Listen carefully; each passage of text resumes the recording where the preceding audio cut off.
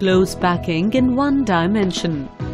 Spheres in this type of packing can be arranged only in one way, that is by touching each other in a row.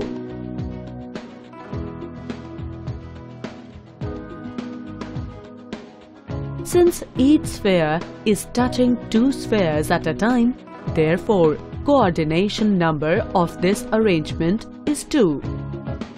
Close packing in two dimensions. In this type of packing, rows are stacked over each other. Stacking of another row can be done in two ways, which leads to two different types of close packings.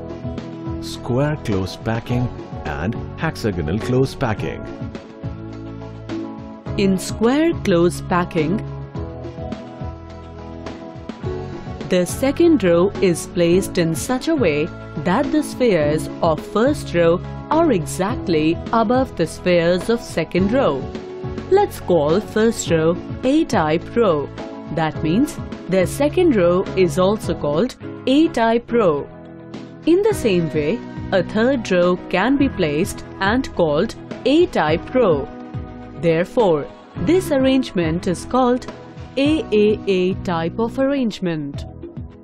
Look at the sphere M carefully. Since it is touching four other spheres, the coordination number of this arrangement is 4. On joining the centers of these spheres, a square is formed. That is why this type of close packing is called square close packing. In hexagonal close packing, the second row is placed in the depressions of the first row.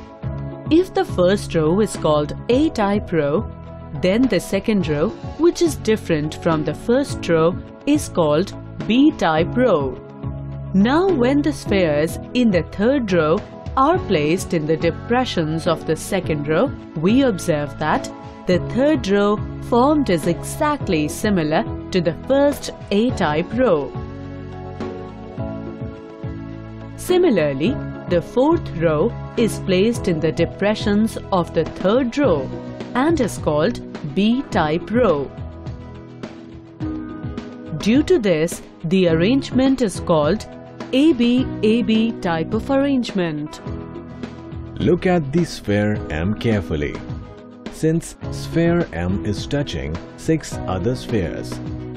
Therefore, the coordination number of this arrangement is 6.